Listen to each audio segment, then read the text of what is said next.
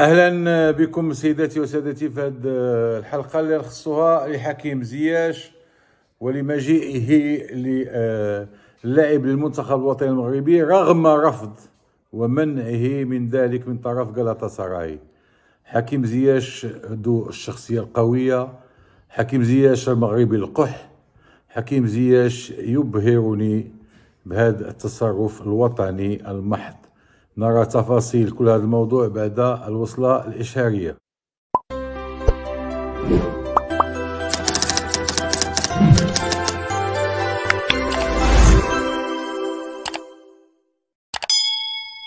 بحال اللي قلت لكم غالاتا سراي دارت ضغط رهيب على حكيم زياش باش ما يلتحقش بالمنتخب الوطني المغربي في المعسكر الذي الذي سيدوم من البارحة إلى ما بعد مباراة المغرب ضد ليبيريا يوم الثلاثاء المقبل مساء بملعب أكادير. حكيم زياش غاب على غالاتاساراي منذ أكثر من أسبوعين بسبب الإصابة التي ألمت به في إحدى المباريات وخروجه في الشوط الثاني من ذاك المباراة. بعد ذلك حكيم زياش اللي كانت طلبات إدارة غالاتاساراي مويدر عدم استدعائه في المعسكر السابق لأنه مازال موجود ومازال مدار العمل الباطني الإجباري في بداية الموسم. كان آه، وليد الرقاقي لبى الطلب ديال فريق غلاطاسراي فإذا بهذا الفريق يحسب أن آه، كل طلباته ستنفذ وأن آه، هو هو من سيكون الحاكم في قضية زياش مع المنتخب الوطني المغربي رغم أن قوانين الفيفا واضحة واضحة جدا. قوانين الفيفا تقول بأن يجب على جميع اللاعبين اللي عندهم جواز رياضي في أي بلد أن يلبوا إجباريا. منادات الناخب الوطني للبلد والا سيتوقفون على اللعب لمدة مباراتين نافذتين في بطولتهما الوطنية.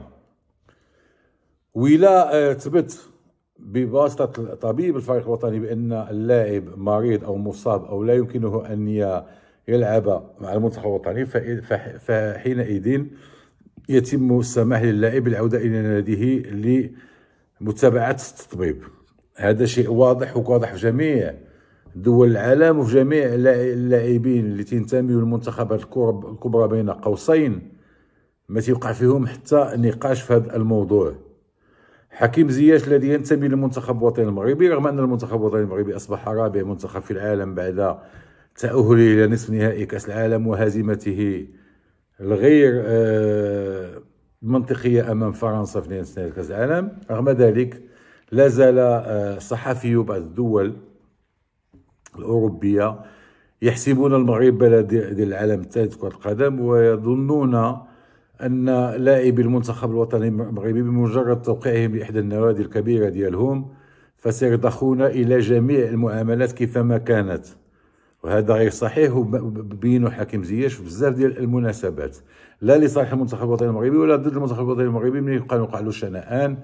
مع الناخب الوطني السابق وحيدة ليلوزيتش حكيم زياش اللي تعرفوا عن قرب يعرف آه تمام المعرفة أن حكيم زياش يلعب آه للمنتخب الوطني المغربي ويعمل للأندية التي يوقع لها. وهنا الفرق واضح.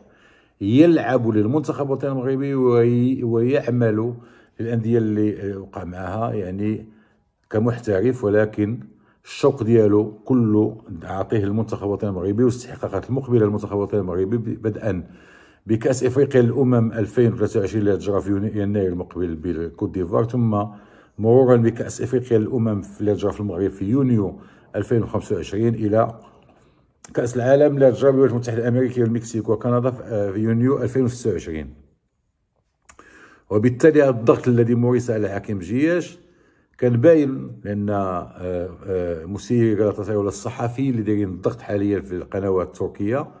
لا يعرفون أحق المعرفة حكيم زياش.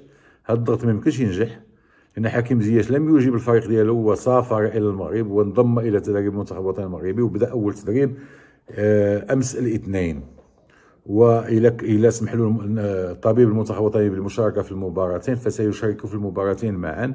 ويعود إلى غاتا وإذا أراد غاتا فك الارتباط بزياش فله الحق في ذلك؟ لأن تفك الارتباط عنده قوانين وضوابط اللي تحميها أه تحميها قوانين الاتحاد الدولي لكرة القدم وبالتالي زياش عنده عقد يحميه.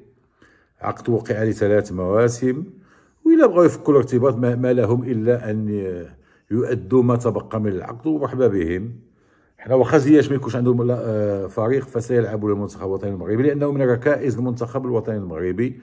وكون مع أوناحي وحكيمي تنظن أحسن مثلث وأحسن ثلاثي في كأس العالم الاخيره بقطر. برافو حكيم زياش. ابنت مره أخرى على أنك وطني قح أن المغرب هو أهم شيء في حياتك. ولا آه ولن يفلح الحاسدون ولن يفلح الحاقدون. وهذا الضغط الذي يمارس من طرف النادي التركي على حكيم زياش لا معنى له. في 2023 كان الفرق الأوروبية تمارس الضغط على اللاعبين الأفارقة لحثهم على عدم المشاركة في كؤوس إفريقية للأمم اللي كتجرى في, في يناير تنظن قوانين الفيفا واضحة وحاليا لا أحد يمارس أي ضغط على لاعبي اللاعبين الأفارقة لأن آه، حقهم آه، الكامل في اللعب لمنتخبات بلدانهم. آه، نفس الضغط آه، بواحد آه، طريقة أخرى يمارس. على إبراهيم دياس اللي اختار حسب كل مصادر المنتخب الوطني المغربي. ريال مدريد لا يريد إبراهيم دياز في كأس إفريقيا الأمم. إبراهيم دياز باغي يلعب كأس إفريقيا الأمم وبالتالي نشوفوا مدى الشخصية اللي عند إبراهيم دياز اللي ما تيلعبش كأساسي في ريال مدريد بل كان اساسيا لا يناقش في ميلان آسي. واش يلبي رغبه ريال مدريد ولا ولا لا؟ هذا ما سنراه في المستقبل.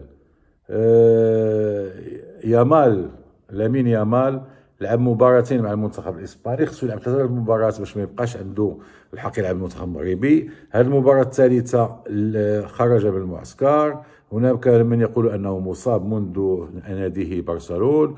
هناك من يقول أن الأجواء داخل المنتخب الإسباني لم تروق وبالتالي آه ندم وباغي يعاود يبدل الجواز الرياضي ديالو. عنده الحق في ذلك عنده الحق في ذلك لأن مازال ما كملش ثلاثة المباريات مع المنتخب الإسباني وكاين ضغوطات من دائما من الصحافة الإسبانية على آه، لامين يامال. يعني نفس الطرق تستعمل ضد اللاعبين الأفارقة اللاعبين العرب في الأندية الأوروبية. والآن الضغط أصبح صحافيا لأن الأندية عارفة القوانين والمسيرين الأندية عارفين بأن قوانين الفيفا تحمي المنتخبات الوطنية وبالتالي صبحوا تيعطيو الضغط آه، يتمارس من طرف الصحافة ديال البلدان وتتكون en général بالنسبة لغالاتاسراي بالنسبة لريال مدريد تتكون صحافة آه، تابعة للنادي.